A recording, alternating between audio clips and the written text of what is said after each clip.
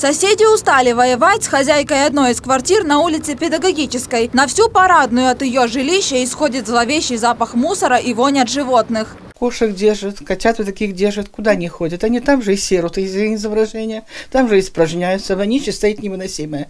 Мы из-за того, что здесь хоть не задохнуться, там дверь открыта, все полностью, стекол нету, и там стекол нету, понимаете? Для того, чтобы хоть как-то, как-то выветривалась вот эта вонь.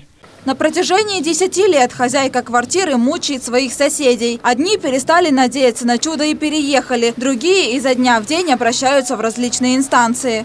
Мы говорим Жеке. Вот Жеке у нас было пять человек, пошли мы, э, написали заявление и все. Вот, э, уже не раз писала заявление. А Жек говорит, а что мы можем сделать? Разводит руки.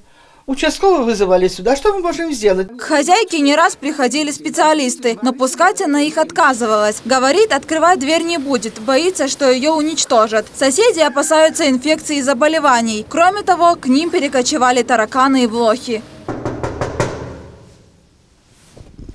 В коридоре стоит ужасная вонь, а из-под дверей выползают тараканы. Сама хозяйка дверь нам не открывает. Даже коллективные жалобы не помогают устранить проблему. В ЖЭКе только разводят руками.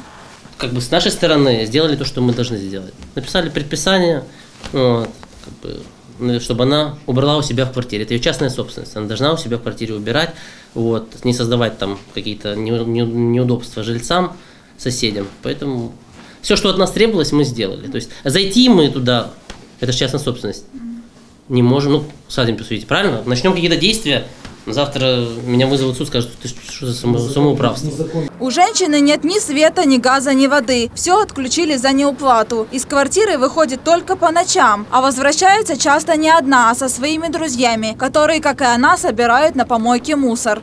Нарина Щеглова, Юрий Шинкаренко, телеканал «Репортер».